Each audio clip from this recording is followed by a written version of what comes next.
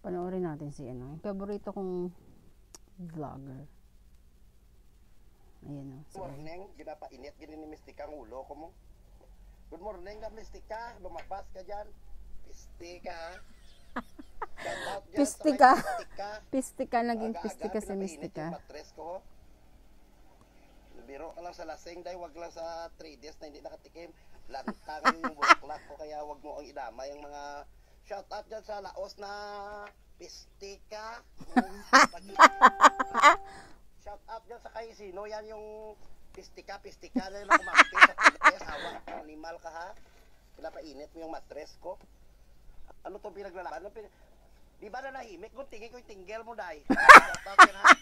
Pinapainit mo yung matres. May dala akong gunting dito para iputol ko sa tinggel yan. Shout out yan sa babae na nagtitinda ng chicken joy ng chicken joy niya. Puro harina.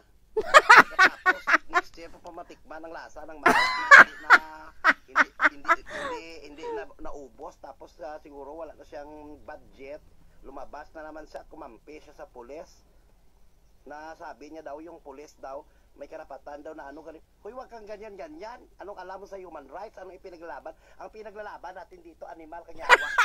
Tingnan ko yung tinigil mo.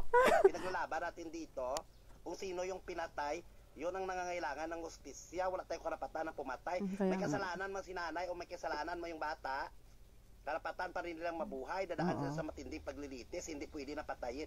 Wala tayong karapatan dito, nilikha lang tayo dito ng Panginoon sa mundo. Hawa, malis mistika, hoy. Split-split ka dyan, puro na singit mo, tapos sina ka pa, pati si Rapi Idol Tulpo noon, inaaway mo pa. Tagal-tagal nito matumba dito. Kailan ka pa ya kaya ma-stroke, yawa? yung tipo na magpapasko na gusto mo na mag- maging mabait, gusto mo nang magsibang gabi para mabawasan yung kasalanan mo.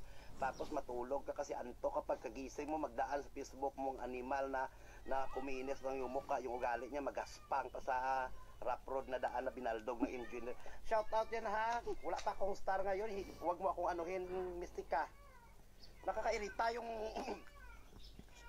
tipo na di ba wala naman tayong karapatan na sumali doon hindi natin away yung tipo na ma- magbabase lang tayo doon yung tutukan Hindi ko naman pinanood eh kasi naka, parang Yun, nakakatakot tal- ano na yun, panoorin. panalo na yun yung tipo Pero wala pa rin tayong karapatan doon. pumatay ng nilalang. Importante dito Isa sa lang atin ang- kasi masama ka man ano. o ano ka man makasalanan ka adik ka man magnanakaw ka man Oo. Wala ang karapatang pumatay. That's the point. dadaan ka sa human rights wala tong karapatan na kung sino ka man na pulis ka na patayin mo yung tao. Okay sana pagdating mo may riot at saka tapos munti ka nang hampasin ng tubo. Wala ka.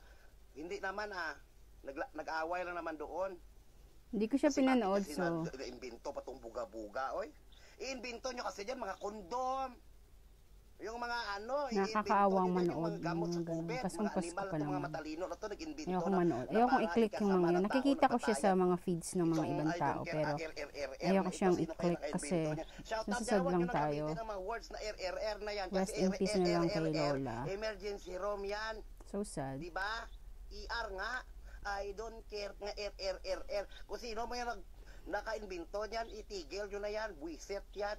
Nang dahil sa RRR. Nabasa ko namatay. rin yun. RRR. Emergency room. Bakit death penalty? Piste man ni sila. Oy, shout out yan ha. Ay. Nakakatawa to si Aga-aga Eric na buisit Raymond. ako ay mistika. Bakit ako mampi dyan? Tingnan nyo dyan, oh. Gigil na siya. Gigigil ako. High blood na naman ako. Hindi pa ako nag, ano, magkape muna tayo, Day. Ay, blood na nga magkakape ka pa. Inday Lord Spanish, good morning. Day, tingnan mo dyan sa wall ko, Day. Si Mistika, Day. Kumampi, okay yan, kumampi kayo. Kung alam nyo at saka kung kamag-anak nyo, hindi nyo kano-ano, nag-iksina lang kayo dyan. Oo, ikaw, Mystica, nagpapakit ka lang sa ano, video mo. mundo, Okay, cute ka. Diyos ko, no. Magtinda ka ng chicken Grabe ka. Yung mga mantika mo. Lahat tayo, may kanya-kanya tayo kung paano tayo sumikat. Pero ka siya- ka. Grabe naman ka si nang sumali Paano ito, pasip-asip na... Huwag ka na lang kumbaga, magsalita. siya, Aktivista na kung kung- kumbaga isipin diyan kumakampi sa, sa tama at mal- dapat doon ka nagtrabaho sa Hall of Justice o ko sa ano? Kaya nga. hindi na nga na, hindi niya nga na nakayanan yung career niya. Sa probinsyano nga ilang linggo lang pinatay na siya doon. Yawa ni sa oy. Ako talaga eh